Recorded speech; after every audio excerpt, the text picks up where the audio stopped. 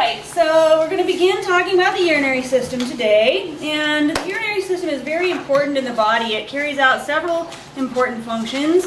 The kidneys are the workhorses of the urinary system, and they do a lot. So the urinary system on the whole is going to filter blood,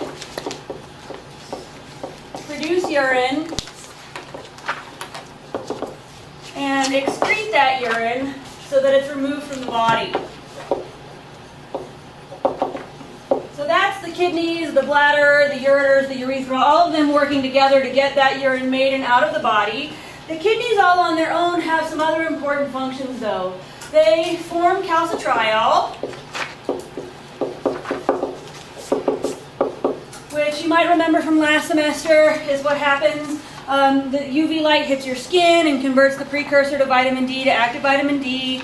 Vitamin D goes to your liver and is converted to calcidiol. Calcidiol goes to your kidneys and is converted to calcitriol. And calcitriol helps to increase calcium absorption in the small intestine.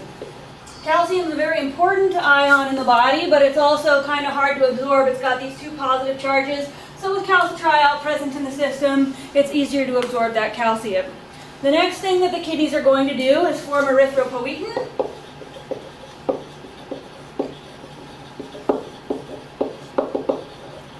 Which, when we talked about blood, we said that erythropoietin is going to be released in response to low blood oxygen levels or low red blood cell count. And it is formed in the kidneys and is going to stimulate our red bone marrow to increase erythrocyte production. As part of this filtering blood and producing urine, the kidneys are going to actually help with our osmotic balance. So they're helping to maintain our body fluid levels, our ion levels, and our um, acid-base balance. So that's going to be another important part is that the kidneys regulate ion levels, fluid levels, and acid-base balance. So the kidneys are the second system in the body that can act as a buffer all on their own. So the respiratory system can act as a buffer, but the kidneys can also act as a buffer. So they are able to uh, pull excess hydrogen ion right out of your blood. Um, the next thing that they're going to do, the kidneys are going to help with regulating blood pressure.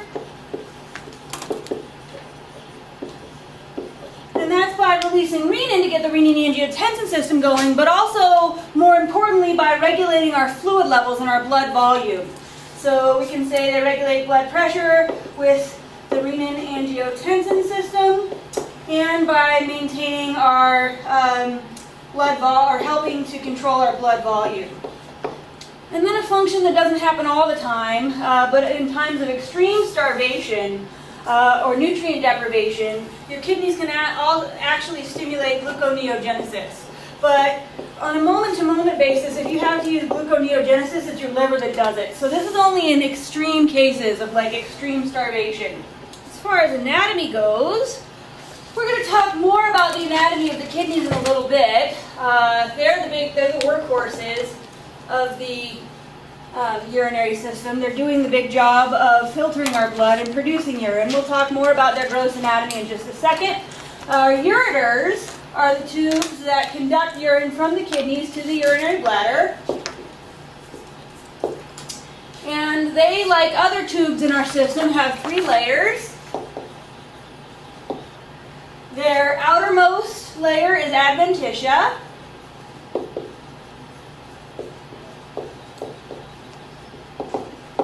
which is more sturdy than serosa. They have a middle layer,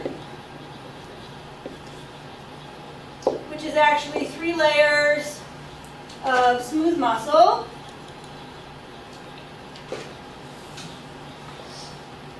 And then they've got an inner layer that is transitional epithelium that's continuous with the transitional epithelium of the bladder.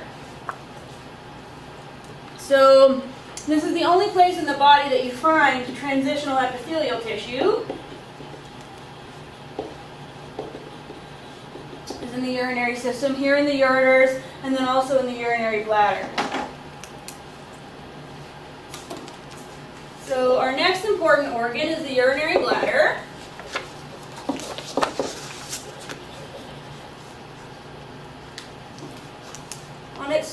Surface it has serosa, but on the uh, lateral surfaces it has adventitia on the outer layers. Um, and then its intermuscular layer, or its middle muscular layer, is continuous with the muscles in the ureters, and it's called the detrusor muscle.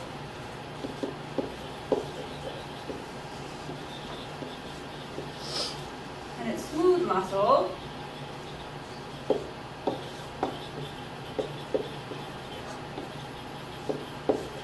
So it will be able to contract and forcefully expel urine from the body. And then the inner layer is also our transitional epithelium.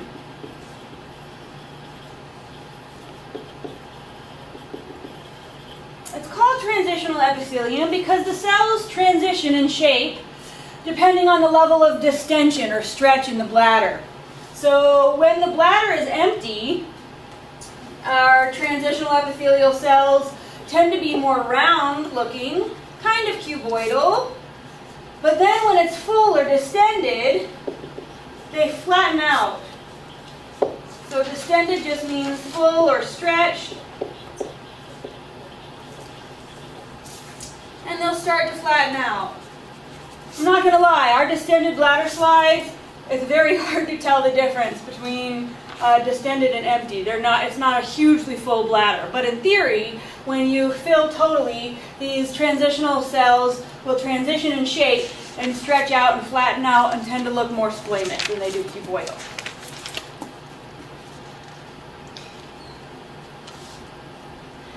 So you said the um, outer layer is adventitia for the urinary bladder too, right? On the top it's serosa, on the sides it's adventitia, which is a little weird. So up here it's serosa, uh, and over here it's adventitia.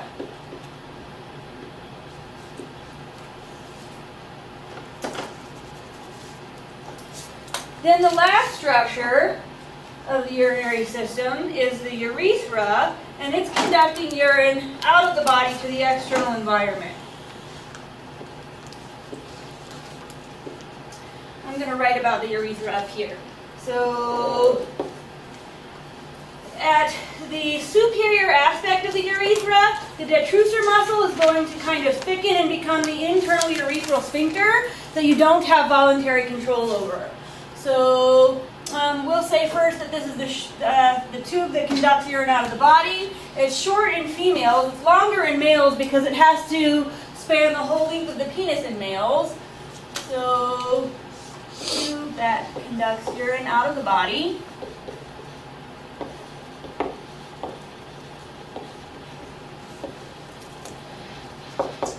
We'll say at the superior aspect, the detrusor thickens to become the internal urethral sphincter.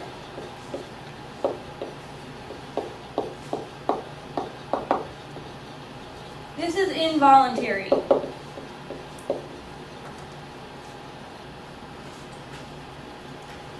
Then at the base of the pelvic floor, we have a second sphincter, the external urethral sphincter.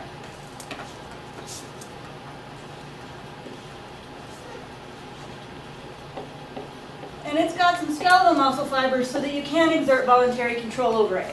But if you are doing tissue damage, if you're really like holding it too much and you're going to stretch your bladder to the point of damage, we can exercise the urination reflex and the smooth muscle will take over and you will relieve yourself of urine. So it's got some skeletal muscle fibers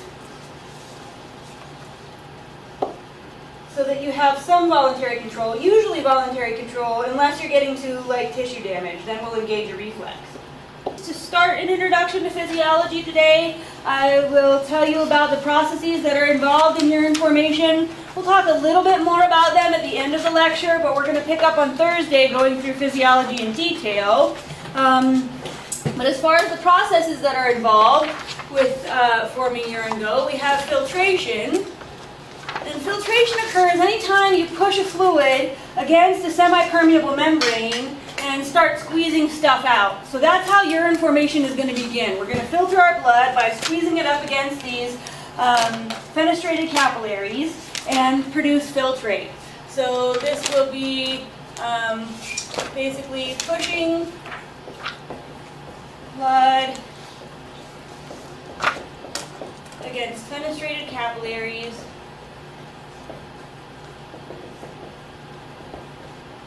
and forcing solutes out of it.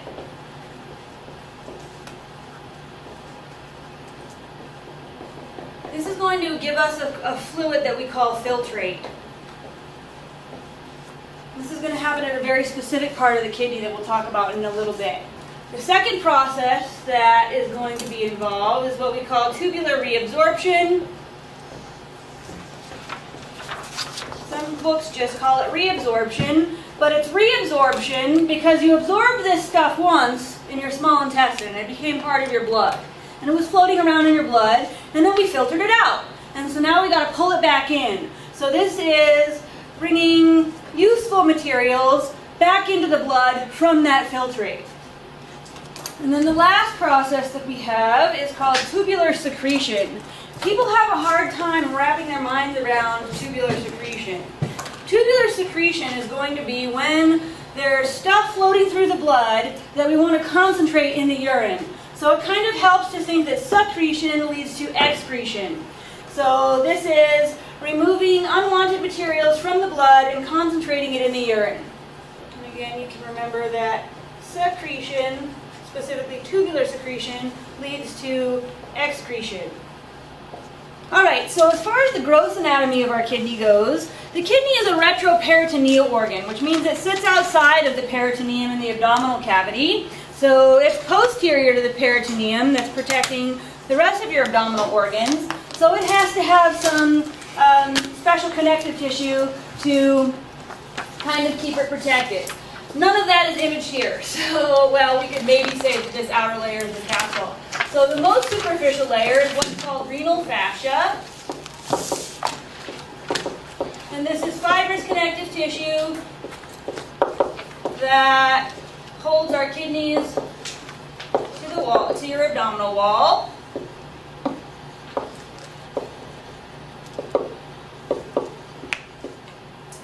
Deep to that, we have a second layer of connective tissue called the perirenal fat pad.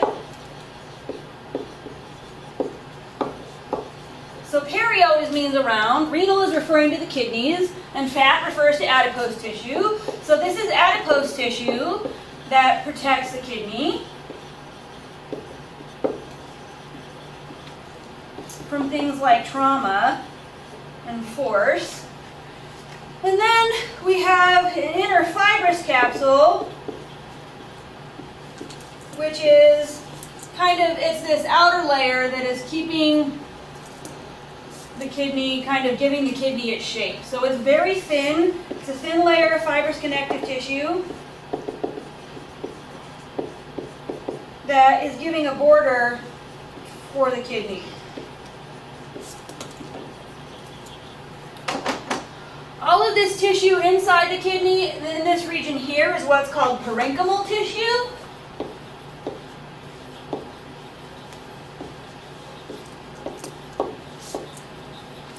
And it's organized into two regions, what we call an outer cortex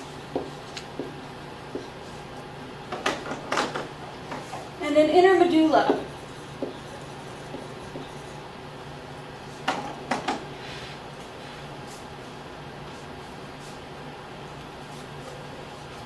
So our cortex, is this parenchymal tissue on the outside, and it's actually going to penetrate into the medulla, forming these things called renal columns.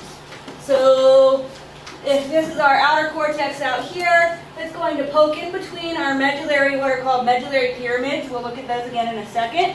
But this is all cortical tissue poking into there, forming renal columns. So we can say this is cortical tissue that uh, dips into the medulla.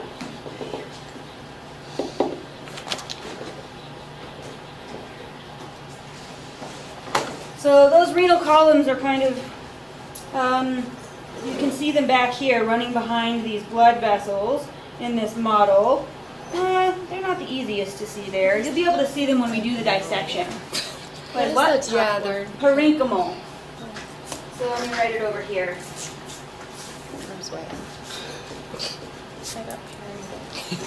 Parenchymal tissue is what the kidney's made of. But it's split into this outer cortex and the inner medulla.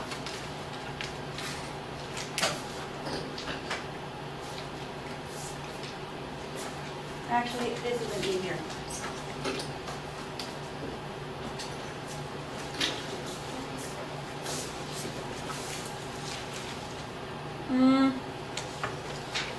Then in our inner medulla, this tissue is organized into what we call renal pyramids. So you can kind of see here, it looks like a pyramid. These are our renal pyramids.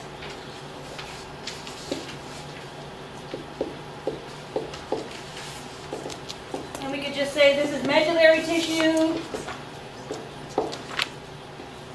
that is separated by our renal columns.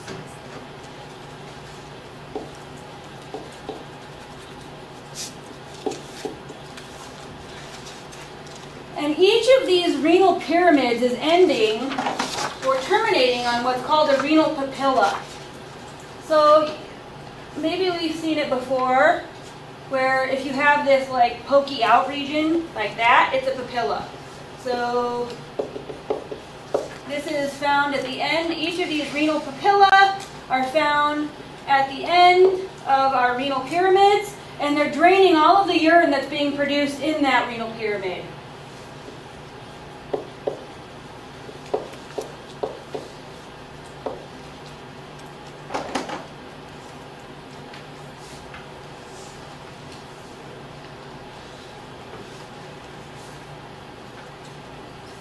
One renal pyramid and all of the cortical tissue above it, we call a lobe.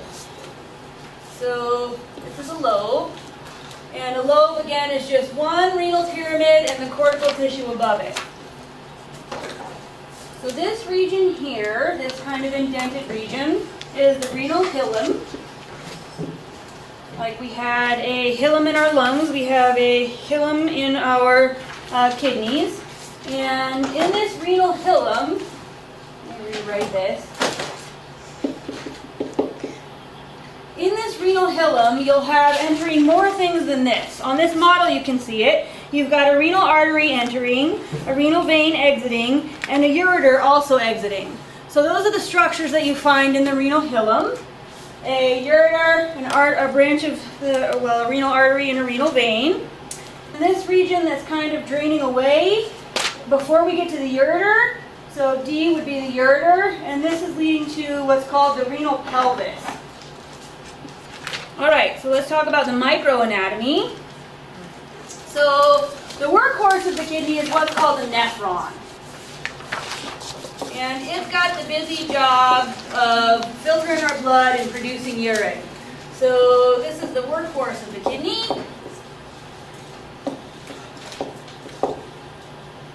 we've got two types of nephrons we'll look at in greater detail in just a minute, but we should talk about a, ne a nephron's structure in general.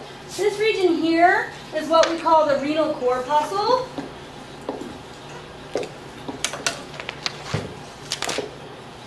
And this is going to be where we're doing filtration. So this first process in urine formation, filtration, is happening in the renal corpuscle. That's the only place that's doing filtration. So we're going to filter blood at the renal corpuscle, and then the, the, that fluid that has been filtered out of the blood is going to enter this next part of the, of the nephron, which is called the renal tubule. Our renal corpuscle has two parts, what's called the glomerulus, which is this specialized region of fenestrated capillaries running through here.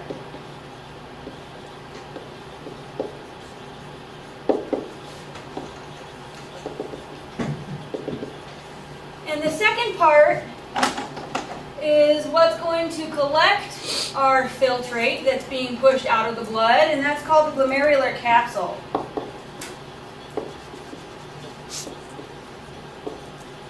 And for now we'll just say this captures filtrate.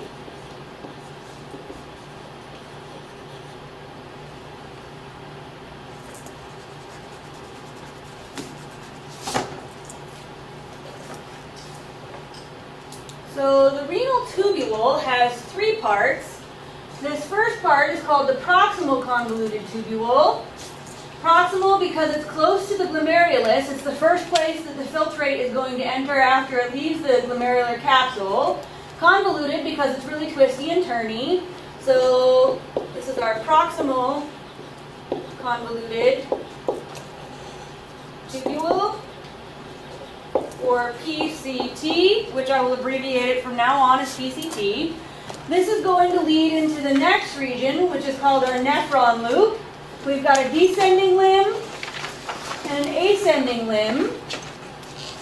So our, our next region is the nephron loop, which has descending and ascending limbs.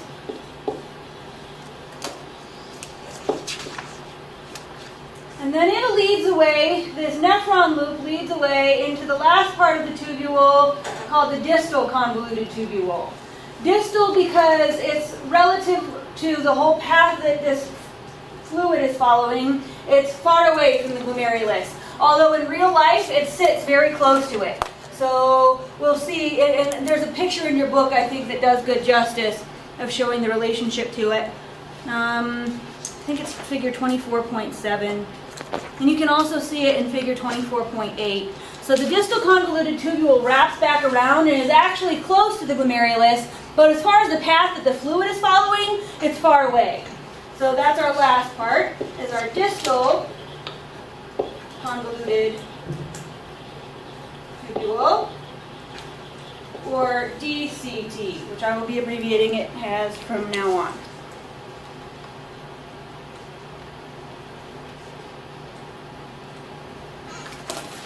So filtration happens up here in the renal corpuscle, and then reabsorption and secretion are going to happen all around along the rest of the length of our renal tubule. When we get to the distal convoluted tubule, that is all under hormonal control. But we'll talk about the details of that on Thursday when we go through physiology.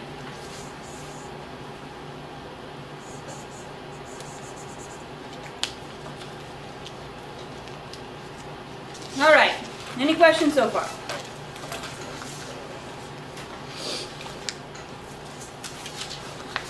So a lot of times what you'll see in books to kind of make it easier is you'll see a glomerulus and this, the glomerulus is kind of a specialized structure. It's really interesting. It's got an arteriole leading into it that we call the afferent arteriole. Afferent is always approaching, so our afferent arteriole is bringing in blood. Then we get into the glomerulus, and those are fenestrated capillaries. So our, if we look at our afferent arteriole coming in, it's got a pretty wide diameter. And then exiting away from here, we have our efferent arteriole. The blood leaving here is still oxygenated. We haven't, we're not doing gas exchange here. What's happening here is we are filtering our blood. So these fenestrated capillaries are going to allow that to happen. So in this glomerulus, these are our fenestrated capillaries.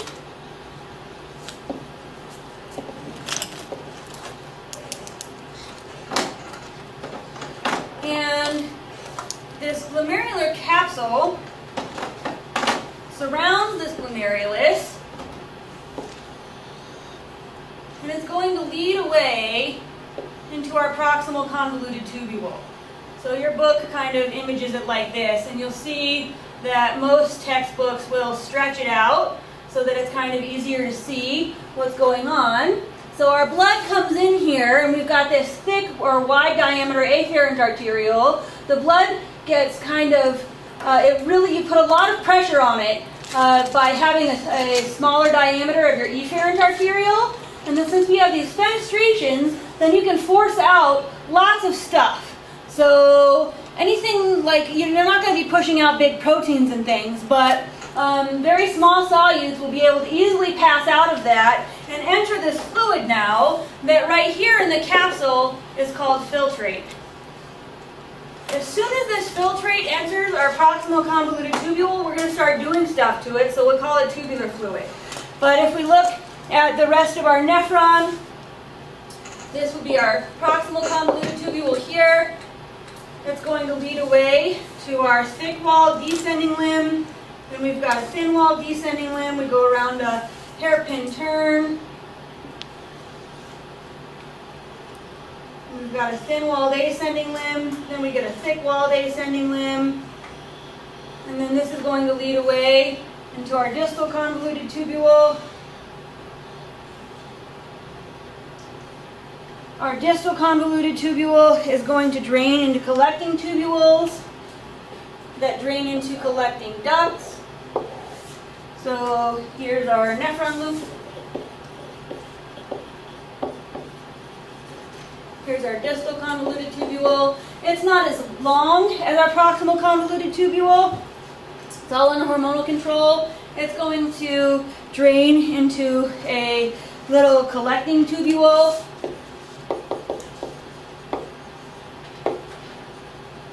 Many collecting tubules are going to drain into one collecting duct. And our collecting ducts are going to carry that urine down to our renal papilla. So we'll just say these end at a renal papilla.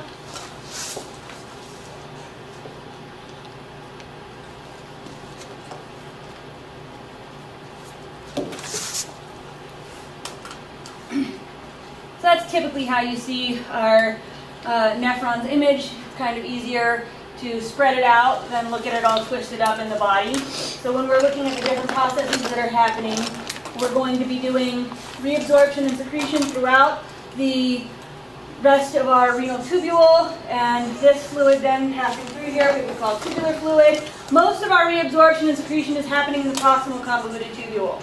As we come down through our nephron loop, it's setting up an osmotic pressure gradient so that we can have maximal water reabsorption in the collecting duct. But again, we'll go through all these details on Thursday. When we get to the distal convoluted tubule, this is under hormonal control. So when we said aldosterone could increase sodium reabsorption, aldosterone is having its effect at the distal convoluted tubule. So we'll talk about all of those details starting on Thursday. All right, we've got different types of nephrons and there are different types depending on uh, how where we find them. And so if you look, if we have our outer cortical tissue here, so let's say this is the cortex, and then deep down here we have our medulla. Passing through here, we've got a collecting duct.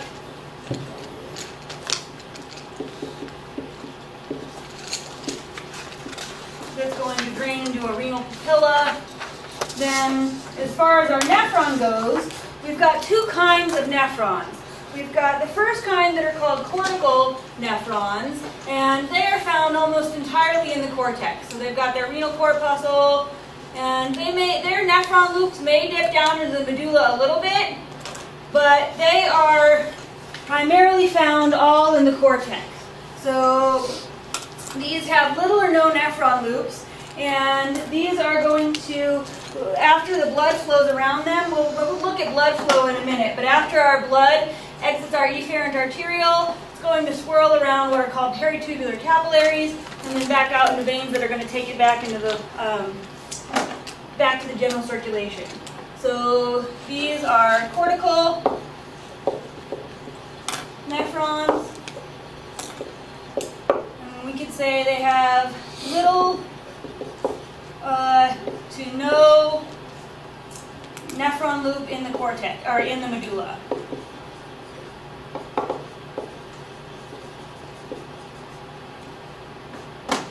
So they're just filtering blood, making urine, not doing a whole lot as far as our physiology of blood pressure is concerned. The other ones the, the, our second type are called juxtamedullary. So juxta always means next to. And these are juxtamedullary because they're next to the medulla. So we've got our renal corpuscle and our proximal convoluted tubule. Then they have these long nephron loops that dip down into the medulla. And then we've got our distal convoluted tubule. Let's pretend it's wrapping back, um, back around in the body and dumping into this collecting duct. So our, our juxtamedullary nephrons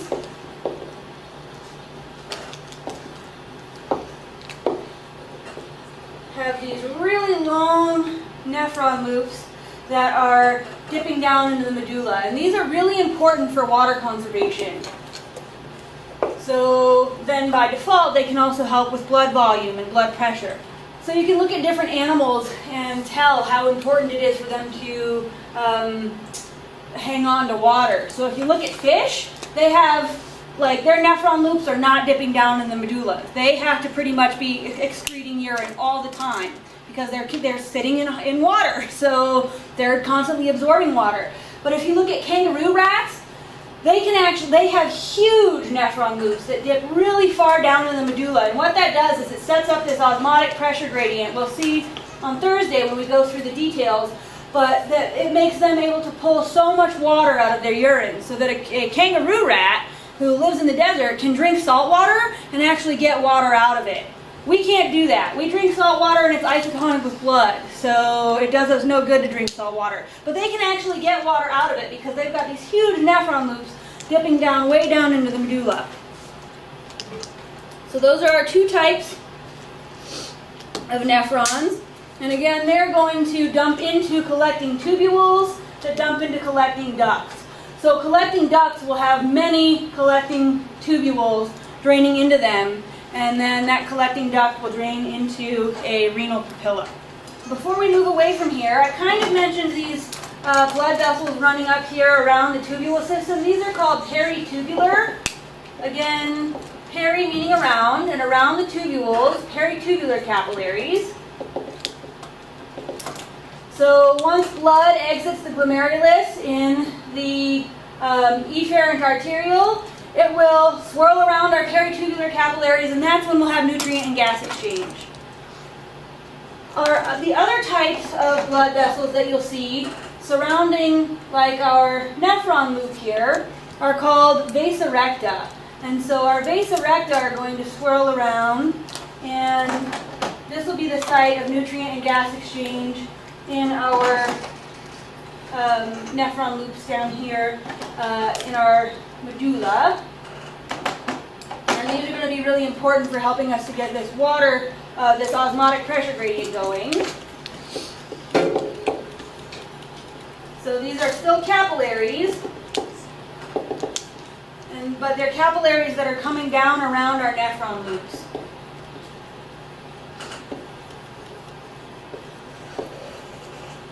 So our afferent, our efferent arteriole would leave with oxygenated blood and bring it to the vasa recta. We'll do nutrient and gas exchange to serve the kidney tissue, and then we'll pick that deoxygenated blood back up in venules that are going to lead away into our renal veins eventually.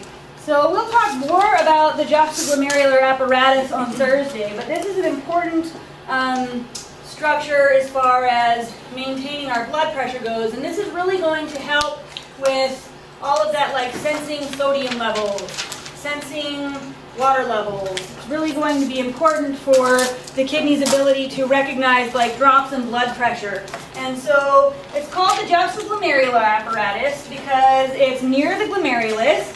So if we've got our big afferent arteriole coming in and our small efferent arteriole exiting, Our distal convoluted tubule is going to wrap through the parenchymal tissue and come back around and be in close contact with our afferent arteriole. So this is actually a branch of our distal convoluted tubule. And this juxtaglomerular apparatus, let me write that down. So juxta, again, near, and this is near the glomerulus.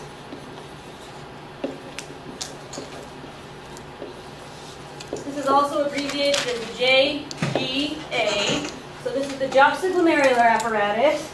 This is going to be important for responding to um, drops in blood pressure, which is sensed as a, a, a decrease in stretch on this afferent arteriole.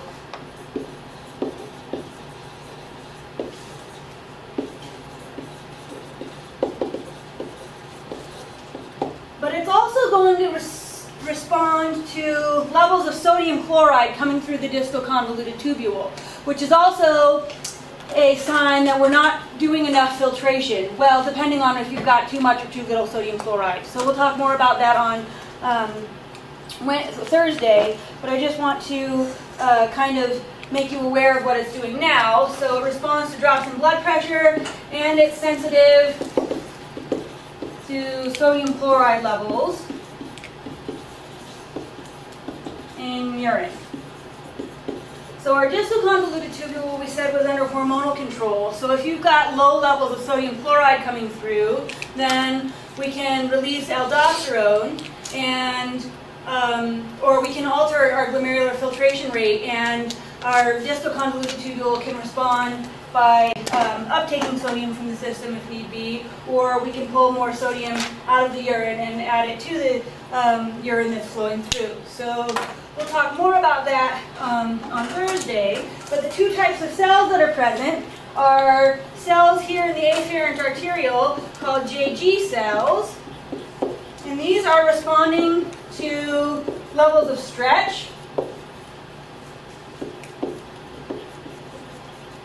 And they respond to sympathetic nervous system activation. The cells in the distal convoluted tubule that are sensing sodium chloride levels are called macula densa. Cells are also going to be able to release renin. So our JG cells release the renin So if you've got a lot of sodium chloride coming through, then we're saying there's a lot of filtration going on and that's bad. If we've got a little bit of sodium chloride going through, then we say we don't have enough filtration going on, that's also bad. So we have to keep the rate of filtrate produced pretty constant, but we'll talk more about that on Thursday. This is the mechanism in the kidney that's going to be able to help do that though.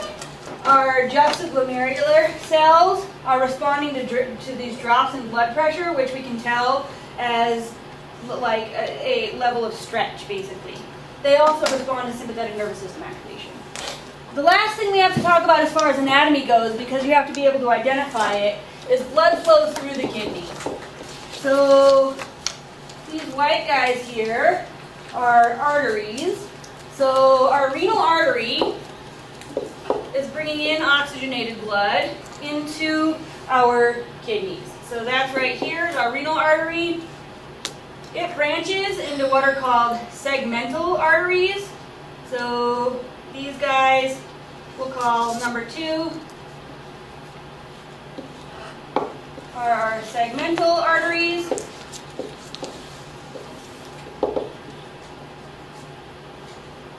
Our segmental arteries are going to branch into interlobar arteries. So we'll call that number three.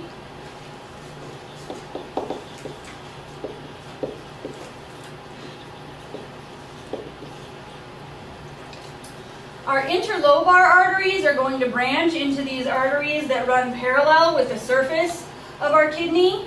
So we'll call these number four. These are called arcuate arteries.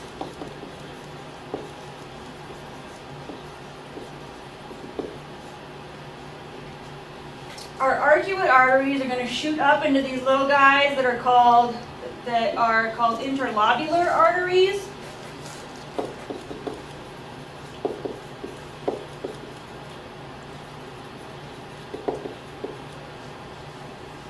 Our interlobular arteries are going to give rise to our afferent arteriole, which you can't really see on here. So number five are our interlobular arteries. From there, our blood enters the afferent arteriole.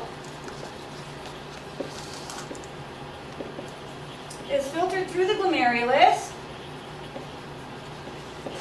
Will exit the renal corpuscle in an efferent arteriole.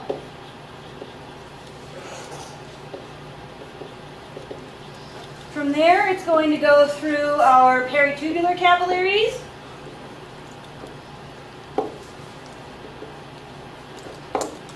Or our vasa recta. At that point, we'll have nutrient and gas exchange. Our then oxygen deprived blood is going to enter our interlobular veins. So those are going to run with our interlobular arteries. So we go into our, we'll say this is number six. Interlobular veins. Our interlobular veins are going to empty into arcuate veins. Number seven.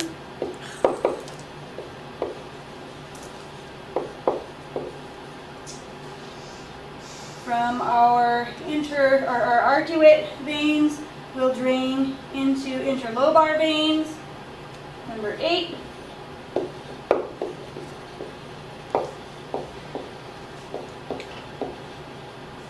And then we don't have segmental veins, so our interlobar veins are going to drain right back into our renal vein, number nine.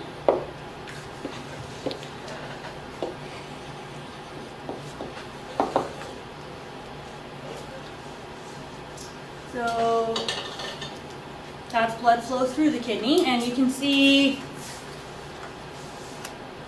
the veins are pretty hard to see, but our arteries are pretty well labeled. So our renal artery is giving rise to our segmental arteries, into our interlobar arteries, into our arcuate arteries, into our interlobular arteries. That gives rise to our afferent and efferent arterioles. The, from there, oxygenated blood will enter the peritubular capillaries or the vasa recta. We'll have nutrient and gas exchange. Then our oxygen poor blood will enter our interlobular veins, dump into our arcuate veins. From our arcuate veins, go into interlobar veins, and our interlobar veins are going to drain right into our renal vein. So then from our efferent, we'll go to our peritubular capillaries or the vasa recta, have nutrient and gas exchange. Then our deoxygenated blood will enter interlobar veins. I'm sorry, interlobular veins first, then arcuate veins, then interlobar veins. But we don't have segmental veins. Our interlobar veins just drain right into the renal vein. So it's oxygenated blood that leaves the efferent arteriole. We have nutrient and gas exchange in the peritubular capillaries or our recta capillaries. Then everything gets picked back up in our veins. All right, then the last thing I want to talk about today is what type of fluid we have in each area. So this glomerulus is blown up down here, but that's what's actually happening up here. And in the glomerulus, that first place where we have this capsular space, so you can see the glomerulus is, is this afferent arteriole leading into these fenestrated capillaries, the efferent arteriole exits. The fluid that enters this capsular space is called filtrate. Filtrate is only found in the capsular space because as soon as we enter the proximal convoluted tubule, we're going to start doing stuff to it. So the proximal convoluted tubule is going to be this region that leads away uh, first from our glomerulus. So in the proximal convoluted tubule, we have what we'll call tubular fluid.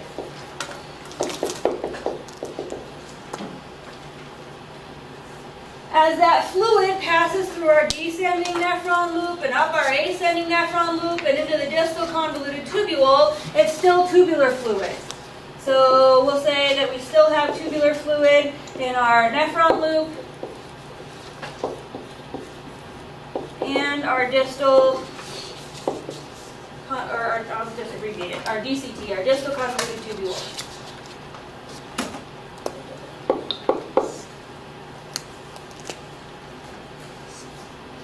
That fluid is still tubular fluid when it enters our collecting tubules.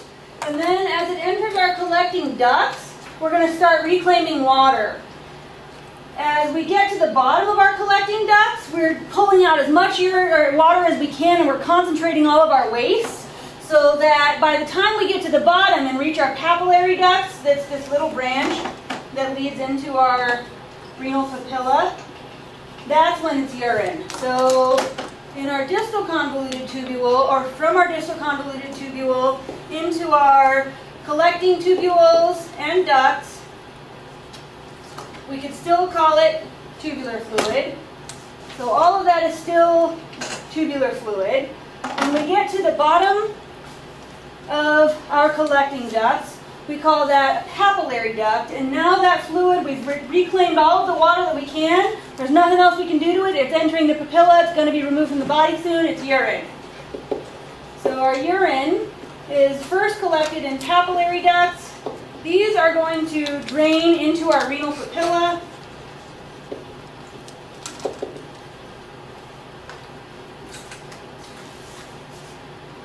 Where we have all of these renal papilla kind of coming together in this small area, we call that a minor calyx. A minor, our minor calyces are going to merge to form these major calyces. So we'll go from a renal papilla to a minor calyx, to a major calyx. Our major calyces are all draining into this renal pelvis. So it drains all into the renal pelvis. The renal pelvis conducts it away to the ureter. From the ureter, we will temporarily store it in the bladder. I'm going to come over here where I have more room. From the bladder, urine will enter the urethra and be removed from the body. So filtrate is only found in the glomerular capsule. Tubular fluid is found throughout most of the rest of the nephron through our collecting tubules and ducts where we're reclaiming all of our water. Once we pull back all of our water and get to the end of that collecting duct, it becomes urine. That urine is going to dump into this renal papilla which conducts it first to a minor calyx, then to our major calyces. So this region here would be a minor calyx. This would be a major calyces. They're going to dump into the renal pelvis. Then from there we go to the ureter, from the ureter to the urinary bladder. Then when you can, can exert some voluntary control over your urination reflex, it will exit the body through the urethra. And that's how we rid ourselves of waste.